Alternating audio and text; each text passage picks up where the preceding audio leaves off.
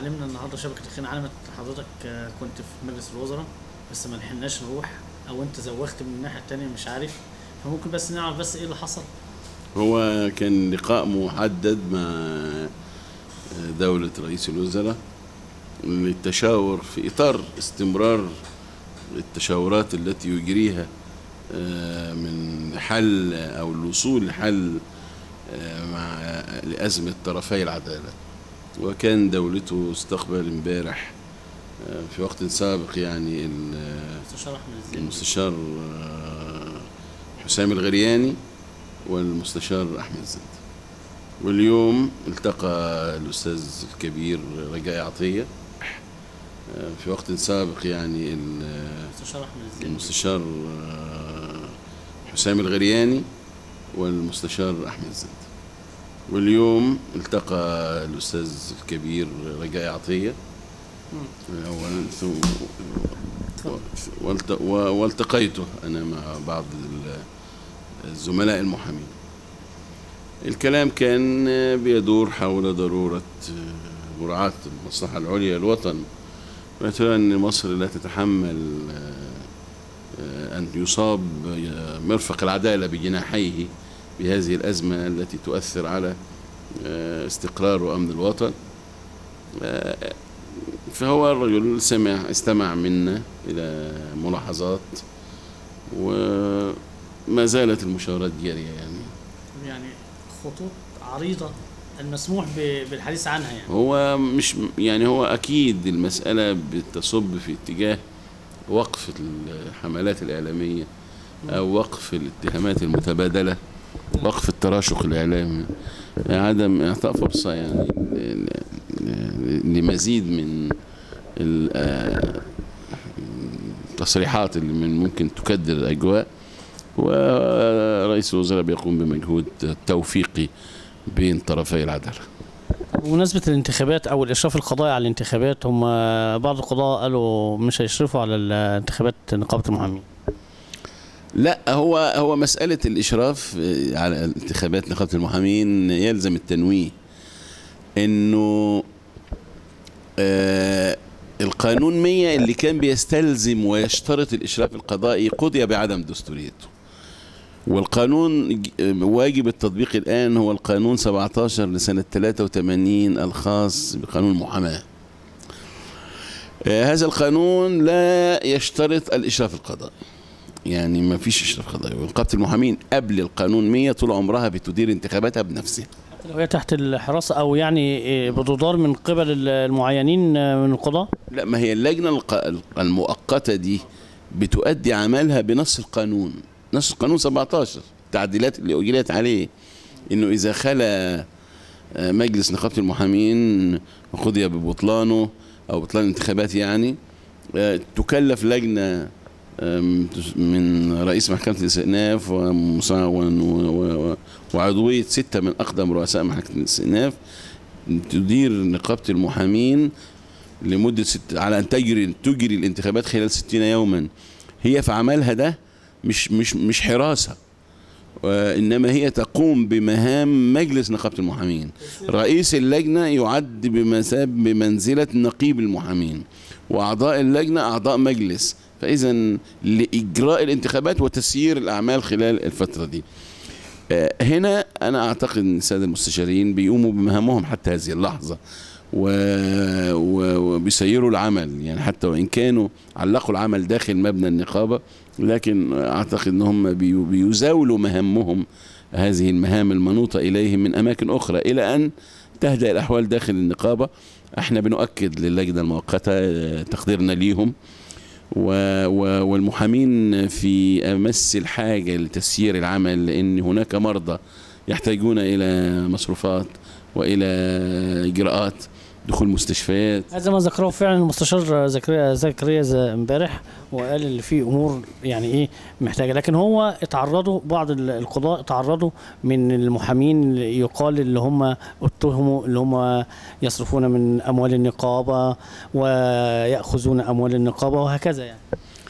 الكلام ده متردد مش بي يعني إحنا ما بن- بننزه اللجنة المؤقتة إنهم بيسرقوا. يعني اللفظ هم لا يعني هم محدش جرؤ إنه يتهمهم بالسرقة لكن جرى العمل في العمل النقابي إنه تطوعي والمجالس نقابه المحامين المنتخبة آه، طول عمرها بتؤدي عملها بلا أجر.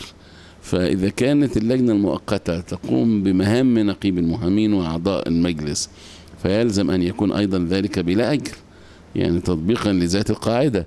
على هذا الأساس إذا كان الاعتراض على مبدأ صرف مكافآت أو بدلات حضور للسادة أعضاء اللجنة المؤقتة ف- فده مش معناه اتهام بالسرقة لا لا اطلاقا هو اختلاف وجهات النظر. آه، كل واحد بيطرح رأيه وفي النهاية إحنا بنكل تقدير خاص إنهم بيتحملوا آه، عبء إدارة نقابة المحامين في في ظروف استثنائية. هل يوجد مبادرة بينكم وبين القضاء أو الجلوس على مائدة واحدة؟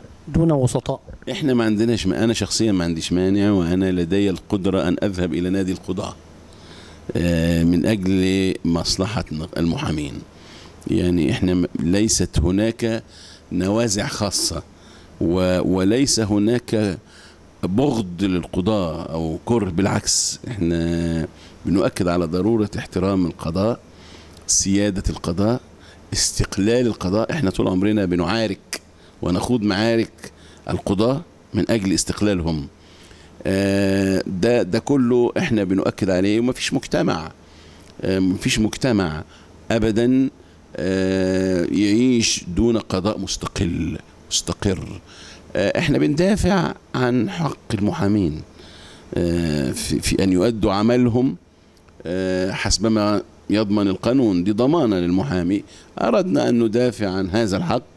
والحمد لله إن هناك نتيجة توصلنا إليها عدم عرض قانون السلطة القضائية إلا بعد أن يكون هناك ممثلين للشعب في مجلس الشعب يناقشون هذا القانون. أنا بطمن زملائي المحامين في كل محافظات مصر إنه لن يو- يوجد من يداهن على مصلحتهم ولن نهادن على مصلحة المحامين. آه، سنبقى أوفياء لمهنة المحاماة. وسنبقى أوفياء لهذه النقابة العريقة. آه، إذا ما شعرنا بخطر سندافع كما دافعنا. وإذا ما زال هذا الخطر فيتعين أن تعود الأمور إلى ما كانت عليه آه، بيننا وبين آه، السلطة القضائية. هل الدكتور عصام الشرف يعني بيرتب لجلسة بينكم وبين القضاء؟ لا تعليق. لا تعليق. طب إلى متى هيطلع للنور ما حدث بينكم وبين رئيس الوزراء؟ لا هو هو الرجل يعني هو رئيس الوزراء الرجل مهموم بقضايا كثيرة آه، بيقول إنه مصر لا تحتمل إنه آه، يكون في أزمة بين جناحي العدالة آه، فهو بيق- بيقوم بمساعي إحنا قلنا له إن مساعيك متأخرة لكن على كل حال هو يشكر لأنه يقوم بهذه المساعي إحنا ننتظر أن يسفر أن تسفر جهوده إلى ما يحفظ لمصر أمنها واستقرارها. القضاة يقولون أنهم يوم الجمعة يعني إيه اعتدى عليهم من بعض المحامين والمحامين تعمدوا إفش يعني إفشال الجمعية العمومية والمحامون يقولون أنهم أطلق عليهم النار. في الهواء أو بعض المحامين أصيبوا؟ علم القاصي والداني انه التجمع الذي تتجمع حول دار القضاء العالي يوم الجمعة الماضي كان من مواطنين ايا كانت خلفيتهم السياسية من 6 أبريل أو من بعض أسر الشهداء آه، أو من بعض المواطنين اللي لهم مظالم آه، ضد تعديات أراضي آه، يعني على كل حال ما كانتش هذا التجمع لم يكن مدبرا من المحامين. آه، ربما تواجد مم، إزاء آه، إطلاق النار آه، ثلاثة من المحامين آه، لكن وجودهم كان لاحق للأزمة ولاحق للتجمهر ولاحق للإتافات ولاحق لإطلاق النار. آه، وبالتالي أنا أعتقد أنه يحسن أن يكون هناك لجنة تقصي حقائق آه، تتتبع المعلومات وإفادات الشهود حول هذا الموضوع وإعلان للرأي العام من يعني كغلق لباب الجدل حول هذا الموضوع. أعلن اليوم في نقابة المحامين أنه يوجد غدا الثلاثاء مؤتمر أو آه، جمعية عمومية أو لاحقة للجمعية العمومية السابقة فما والله أنا أنا استمعت إلى ان الأستاذ زكريا إدريس بصفته من ترأس الجمعية العمومية الطارئة الماضية باعتبار أكبر الاعضاء سنا آه، صرح أن آه، لا يوجد من بين القرارات التي اتخذت دعوة إلى جمعية عمومية غير التي آه، من المزمع عقدها يوم 15 نوفمبر باعتبار أن الجمعية العمومية الطارئه التي انعقدت هي في حالة انعقاد دائم وبالتالي باتت الحاجة غير ملحة لعقد جمعيات عمومية أخرى. هل يوجد التواصل بينكم وبين الشباب المحامين الذين يصورون ويعملون المظاهرات؟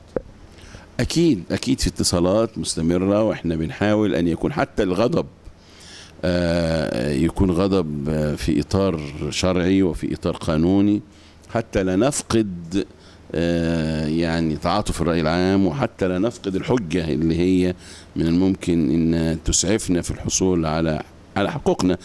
والشباب الحقيقة ممتثل والشباب بيتواصل معانا. والأمور الآن أفضل وكل المحامين كانوا من يوم السبت اللي فات هم عندهم الرغبة في العودة إلى العمل العودة إلى محاكمهم. نأمل أن تنتهي هذه الأزمة في أقرب وقت. متى نرى آه، القضاة جالسون على مائدة واحدة أنتم وهم؟ عسى أن يكون قريبا. يعني قبل العيد أو بعد العيد؟ لا أنا ما عنديش معلومات في هذا الإطار. أنا شخصيا برحب بأي جهود تبذل في هذا الإطار. ما عندناش تاني بقول ما عندناش أزمة مع السادة القضاة. آه الاحتقان زال بتعليق القانون إلى أن ينظره مجلس منتخب من برلمان منتخب. ما عندناش أزمة مع القضاء إحنا بنكون كل تقدير لقضاء مصر. شكرا أستاذ مصطفى. شاكرين شكرا